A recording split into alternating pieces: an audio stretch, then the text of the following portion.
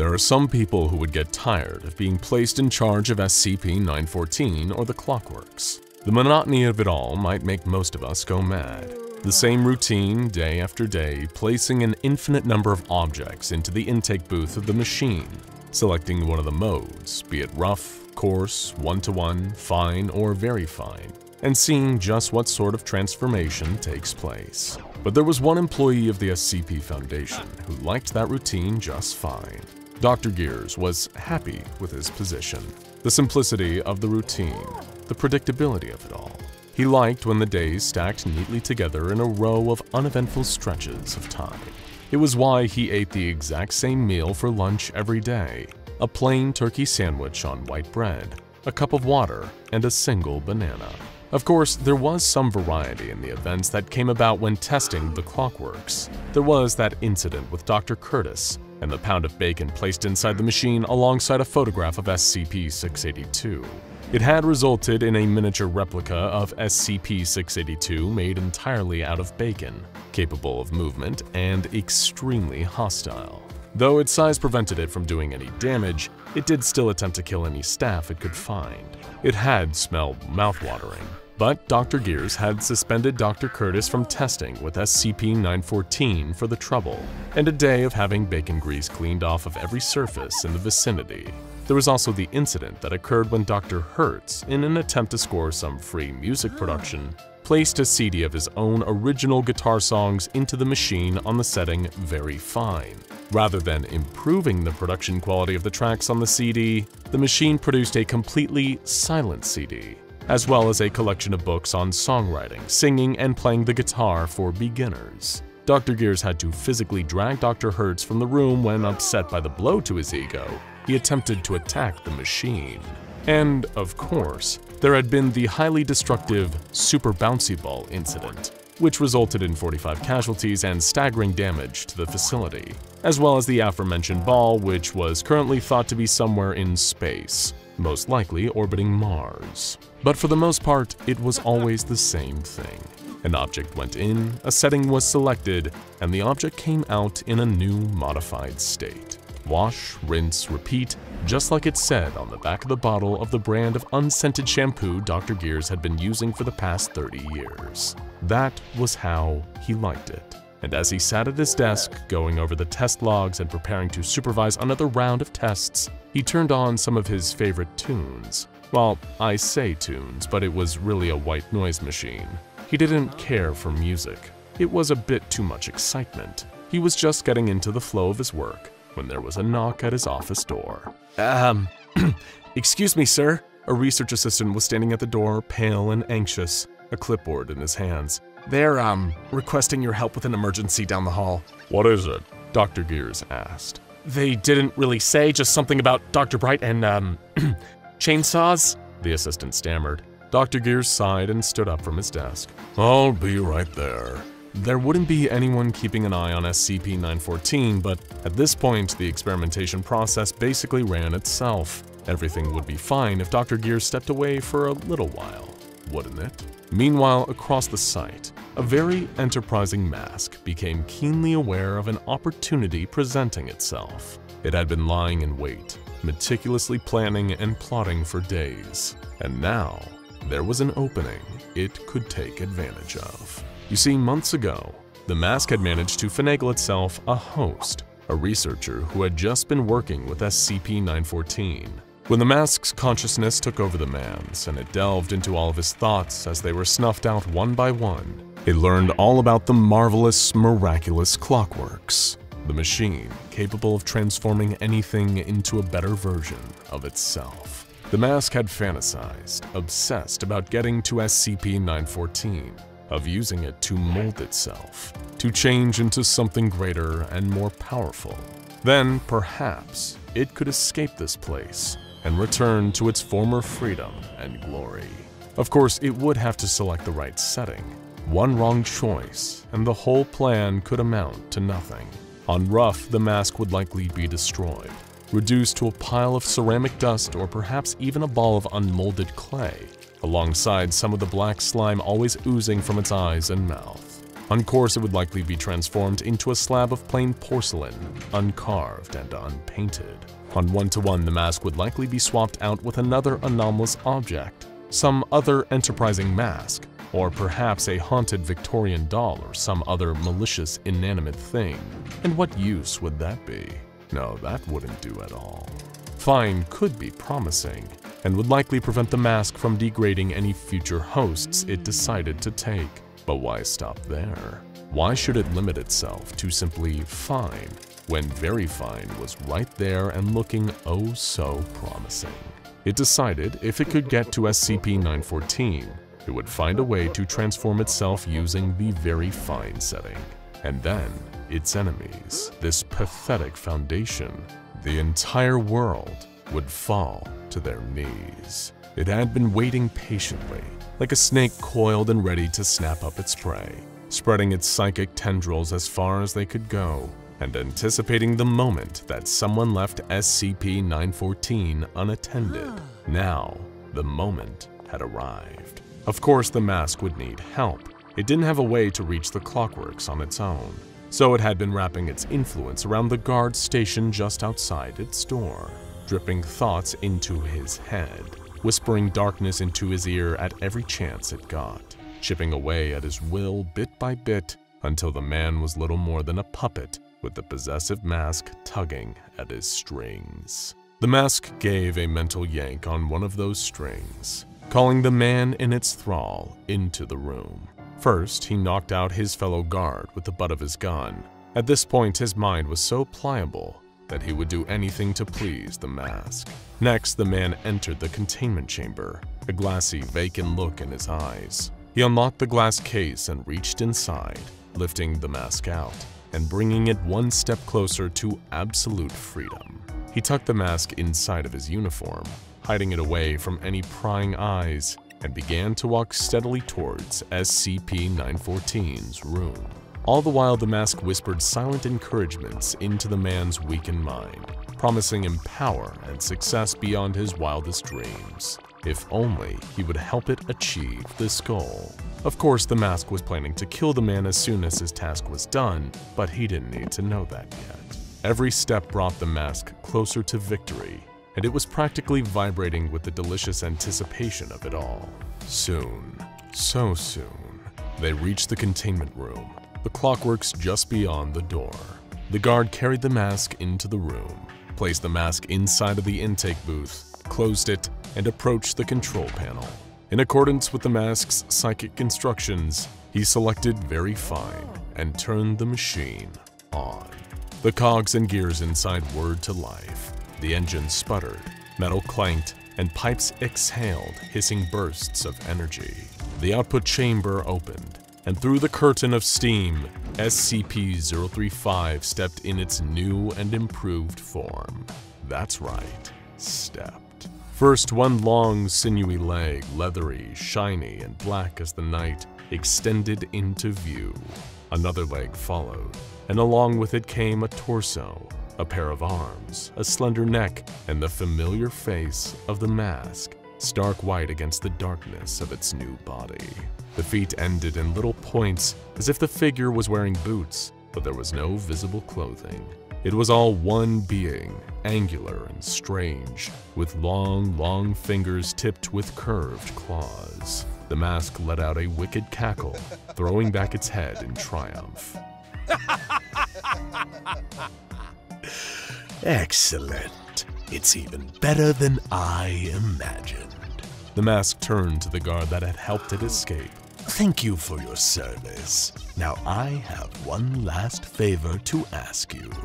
It was time for the mask to test its powers, to see how the clockworks had strengthened what was already there, what more it was capable of in this enhanced state. I want you to go into the cafeteria, walk into the kitchen, and climb into the oven, would you? Make sure you turn it on nice and hot first. It waited for a few seconds before the man nodded solemnly, turned and left the room, heading off in the direction of the cafeteria. It listened as the moments passed, and the sound of horrified, shocked screams rang out, and it knew that the man had followed its instructions exactly. At the mask's orders, he had cooked himself for lunch. The mask clapped its hands together, cackling again. Wonderful, oh wonderful. Now that's taken care of, what shall I try next? If the mask had eyebrows, they would have been arched in a truly devilish expression. First, it wanted to test its abilities on a truly formidable opponent, someone worthy of the mask's time and attention. Casually as you please, it strode over to one particular containment chamber to see about an unkillable reptile. As it walked, several guards took notice, pointing their weapons at the mask and ordering it to stand down.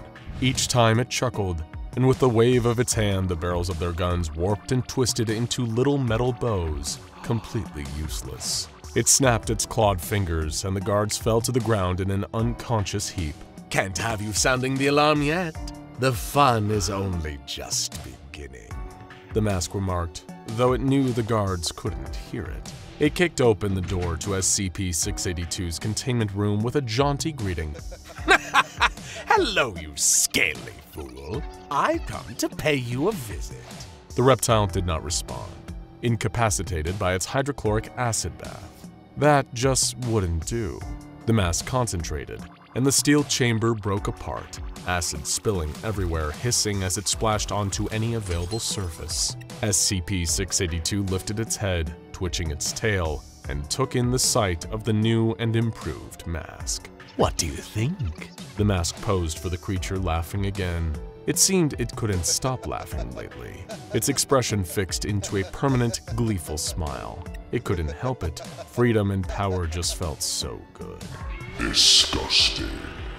SCP-682 remarked. Unimpressed with this display, it lunged at the mask, preparing to attack, but the mask held up a hand to stop it. Not so fast. SCP-682 suddenly froze in place, eyes rolling wildly as it tried desperately in vain to move. Let's see. What should I do with you? The mask was itching to test out its reality warping abilities. It had the feeling that there was very little it couldn't do in this state, and wanted to see just how far its power could go. But what would be suitable punishment? What could be the cruelest possible thing to do to such a creature? The mask could simply try to kill it, to finally snuff out this endless, miserable life. But that would be a release. That would be far too easy. Aha! A light bulb went off in the mask's twisted mind. Perfect. It waved its hand, releasing SCP-682 from its paralysis, but as the massive lizard snapped its jaws and moved to take a bite out of the mask, it lost its balance, falling to the ground. Its legs had begun to shrink, rapidly knocking its center of gravity askew. Soon the rest of its body began to follow, getting smaller and smaller at an unbelievable pace, until finally, where there had once stood a massive, impossible prehistoric beast, was something resembling a baby alligator. A tiny little tail thrashing about, short stubby legs, bulbous eyes, and a mouth full of sharp but adorable, non-threatening teeth. When the shrunken SCP-682 spoke, its voice was high-pitched and squeaky. It roared. Yes, you are. The mask turned and left, thoroughly pleased with its work and shut the door behind it. Now, what other fellow anomalies could the mask exercise its absolute superiority over? It pondered other supposedly dangerous and deadly entities that it had heard about over its time in Foundation custody. It all seemed so laughable now. There was only one true danger within these walls, and it was the mask. Oh, what about that abominable sculpture? The ugly thing with a penchant for snapping necks, but only when a person wasn't looking at it. The absolute coward. Cowards didn't deserve to live, the mask decided, and it made its way over toward SCP-173's containment cell. Inside, there were several D-Class staring at the statue with wide, unblinking eyes, each person terrified of being the one to let their guard down and lose their life in the process. None of them would die today, however, at least not at the hands of the statue. As the D-Class in the cell watched, never once taking their eyes off of SCP-173, the statue's head began to twist and rotate, the sound of cracking snow and creaking metal reverberating through the room. The mask used its telekinetic abilities to rend the statue's head from its neck, relishing the irony of breaking the thing's neck just as it had done to so many others. It wasn't about justice, of course. The mask had no taste for such insipid and human things. It just found the whole image quite funny. The entire thing began to crumble apart, like a sandcastle beneath an ocean wave, disintegrating until all that was left was a pile of pebbles and dust. Just like that, SCP-173 was no more. As for the D-Class in the cell, well, the mask could use some servants. You all, come with me the mask ordered, flexing its iron will and quickly capturing the weak, fear-addled minds of the D-Class personnel before it. They fell in line, shuffling out the door and following the mask with the same blank expressions as the guard before. Whatever was left of their personalities after so much time being used and abused by the Foundation, it was gone now, replaced only with the will of the mighty mask. As the mask continued its victory tour of the Foundation, now with four mindless servants in tow, it passed the staff break room. Through the window, it spotted one Dr. Bright, the telltale amulet around his neck, microwaving some leftover pizza. The mask had always found Dr. Bright distasteful, with his self-aggrandizing pranks and general dedication to chaos with no grand vision behind it, no meaningful agenda. It was pitiful. It was deeply ugly. And now the mask had a chance to put an end to the immortal doctor's antics once and for all. It opened the door, greeting Dr. Bright with that frozen grin. Oh, Doctor. Dr. Bright's eyes widened, and he didn't even hear the microwave behind him ding, signaling that his pizza was ready. He was too distracted by the horrifying sight before him. But as he opened his mouth to scream, to call for help, the mask reached out and ripped the amulet from his neck. The host body fell limply to the ground, and the mask looked down at the amulet, glinting in the light that held Dr. Bright's consciousness inside. It stared at the amulet with a flinty gaze, and under its empty stare, the metal began to rust, to degrade, and to melt into an unrecognizable slurry. The mask let it drip onto the floor. Then, when all that was Dr. Bright had melted away, it wiped its hand off with a napkin and ground the wet puddle on the ground with its heel. Goodbye, Doctor, the mask hissed. Now, what's next? But as the mask turned to walk down the hall, it came face to face with a disapproving face. SCP-343 had manifested directly in front of the mask, and he clearly had learned of the mask's behavior so far that day. You've been busy. yes, very busy. Lots to do, you see. The mask chuckled smugly. You understand why I can't allow this to continue, right? 343's expression remained stern but calm. You believe you can stop me? The mask tilted its head to the side. Of course I can. SCP-343 sighed. But you could stop on your own, if you would rather. I prefer to avoid an unnecessary conflict. The mask giggled uncontrollably at this.